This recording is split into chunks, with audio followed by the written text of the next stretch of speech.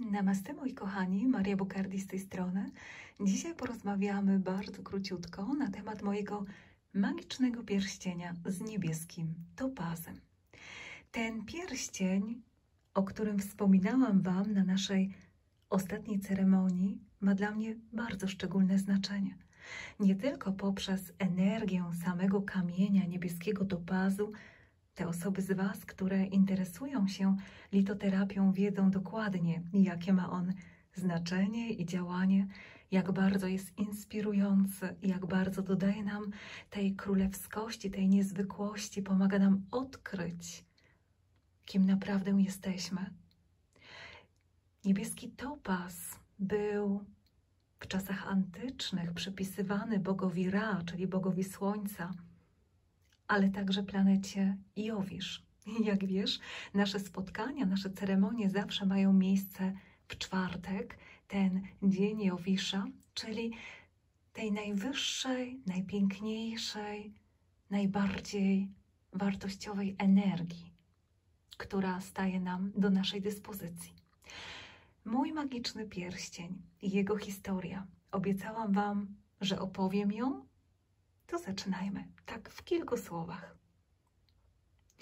Ten pierścień kupiłam wiele, wiele lat temu, może już 20 lat temu, a może nawet więcej. Dokładnie w tym momencie, gdy po raz pierwszy wyjechałam z Polski do Niemiec, do Saksonii. Zobaczyłam go w internecie i bardzo, bardzo mnie oczarował, zaczarował. Jeszcze wówczas nie wiedziałam, jakie będzie miał dla mnie wyjątkowe znaczenie. Kupiłam go poprzez dom wysyłkowy i tak od jubilera trafił prosto w moje dłonie. Jednak na początku bardzo mi się podobał, mm, ale w życiu codziennym był trudny w użytkowaniu, nazwijmy go tak. Moim świetlistym wskaźnikiem pokażę Ci dokładnie o co chodzi. Kamień topaz jest tutaj ujęty w takie cztery, hmm, bardzo również symboliczne, prawda? Z numerologii.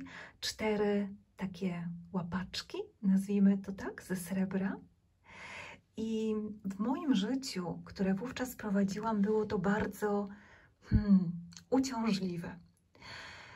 Byłam wówczas prezesem zarządu trzech spółek i bardzo energiczną osobą, która Miała mnóstwo zadań do wykonania i przez cały dzień była w stałym biegu. Również moje eleganckie ubrania, cieniutkie rajstopy, często właśnie te łapaczki zahaczały się i robiły mi więcej szkody niż pożytku, nazwijmy to tak. Dlatego przestałam nosić ten pierścień. Praktycznie po dwóch, trzech dniach trafił on do mojej magicznej szkatułki i czekał, i czekał, i czekał. Ten niebieski kolor, z czym Ci się najbardziej kojarzy? Naturalnie, z niebieskim niebem na mitycznej Atlantydzie, na Porto Santo czy na wyspie Maderze, na Wyspach Azorskich, z niebieskim oceanem. I także te mniejsze kamienie, nie wiem jakie są to kamienie, wydaje mi się, jak dobrze pamiętam, cyrkonie, również mają taki właśnie tajemniczy niebieski, niebieską poświatę, może bardziej przypadającą nawet w kolor szafirowy, może nawet bardziej w kolor hmm, fioletowy, przemiany i transformacji. Te wibracje dokładnie teraz, w tym momencie, gdy jestem już na mitycznej Atlantydzie tak długo. Dokładnie teraz, szczególnie w tej serii naszej 101 do 109 z pewnością ceremonii, będą nam bardzo intensywnie towarzyszyć. To jest tak, jakby narodziła się na nowo mityczna Atlantyda. I ta energia zyskuje na sile przez cały ten czas. W czasie jednak mojej wędrówki z tym magicznym pierścieniem wydarzyło się mnóstwo innych rzeczy, o których chciałabym Ci w skrócie opowiedzieć. Pierwszym takim malutkim wypadkiem, który się wydarzył, było to, że jedny, jedna z tych cyrkoni wypadła. Zgubiłam ją gdzieś w czasie tej wędrówki. I zaniosłam wówczas mój pierścień do mojego przyjaciela, jubilera, i poprosiłam, aby naprawił tą cyrkonię. Po długim czasie dostałam telefon i powiedział mi: Wiesz, Mario, ja przeszukałem wszystko, ale ja nigdzie nie mogę znaleźć takich kamieni. Są tylko cyrkonie w takim białym kolorze, a takich cyrkoni w takim odcieniu nigdzie nie ma. Przeszukałem wszystkie źródła, nigdzie nie mogę znaleźć takich kamieni. To była pierwsza tajemnicza rzecz, dlatego ten pierścień dzisiaj ma jedną jasną cyrkonię, a resztę, wszystkie pozostałe, w tym oryginalnym kolorze. No ale ta historia samego pierścienia, dlaczego uważam, że jest magiczny? Tą magię odkryłam najbardziej dokładnie teraz, tutaj na mitycznej Atlantydzie, bo dodaje on takiej niesamowitej, wręcz boskiej siły do tworzenia, materializacji, do pracy z energiami, o której aż trudno uwierzyć, że ona istnieje nawet dla osób, które zajmują się magią i energiami od lat. I ta wibracja jest taka niezwykła, taka po prostu jak z innego świata. Takich może te cyrkonie, których mój przyjaciel lub jubiler nigdzie nie mógł znaleźć, są jak z innego świata. Tak i ten topas jest jak z innego świata, bo wiesz, że gdy on wrócił do mnie, ten magiczny pierścień, to potrzebowałam kilku miesięcy, aby przywrócić jego blask. W dłoniach mojego przyjaciela jubilera, który jest bardzo pozytywną i bardzo miłą osobą, jednak zmienił on swoją wibrację. Tak jakby nie chciał pokazać, kim naprawdę jest. Dopiero gdy trafi w odpowiednie dłonie. I wiesz, to jest również taka zagadka, jak na mitycznej Atlantydzie, że tylko kapłani o odpowiedniej wibracji mogli aktywować pewną wiedzę, mogli aktywować pewne energie, a gdy ktoś nie miał tej wibracji, to, to pewne informacje były dla niego zamknięte. Nie mógł się do tego dostać, nie mógł tego zrozumieć. To jest tak, jakby odpowiednia wibracja serca, świadomości dopiero otwierała pewne drzwi do wtajemniczenia.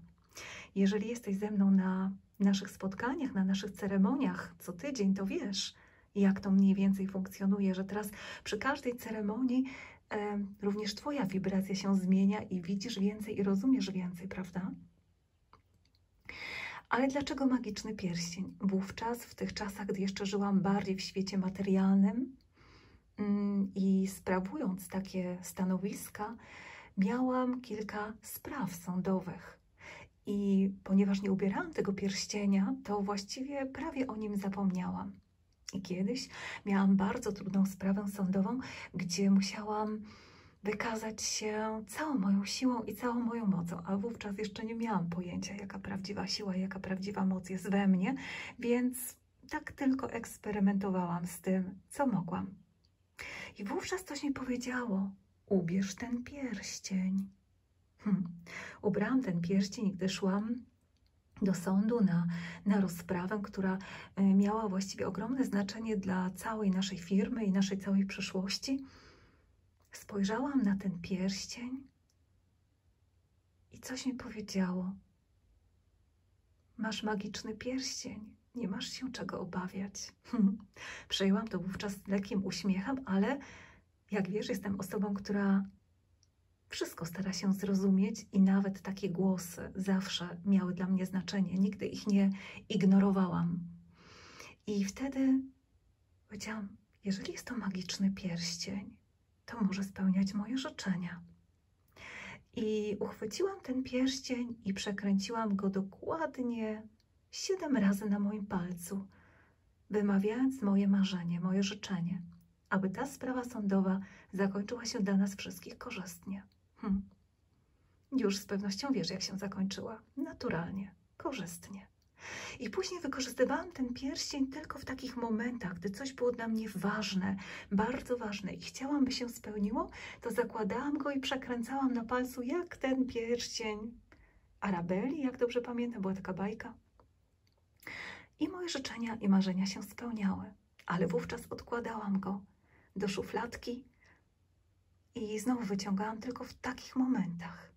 Teraz jednak nadszedł czas, że mogę zakładać go codziennie, w każdym momencie i w każdej sekundzie. I jego energia współgra z moją wibracją, z wibracją mitycznej Atlantydy. I idziemy razem, krok po kroku. Zmieniając coś w nas, zmieniając coś wokół nas, zmieniając coś na Ziemi i zmieniając coś we wszechświecie. Nadszedł ten odpowiedni czas, że jestem gotowa, jestem godna tego, by nosić ten pierścień, bo kiedyś nie byłam tego godna, bo wykorzystywałam go tylko do takich prostych spraw. A teraz wiem, że mogę wykorzystywać go do tego, by stworzyć tutaj na Ziemi coś pięknego, by dokonać tutaj pięknej, pozytywnej, boskiej przemiany w imię tego, co dobre, w imię tego, co najwyższe. Mogę aktywować w Was Wasze zdolności wyższe, pomóc Wam odkryć Waszą indywidualność i Waszą niepowtarzalność. I dlatego jest ze mną na każdej ceremonii. Czy na palcu, czy na wisiorku, czy gdzieś ukryty w moim ubraniu.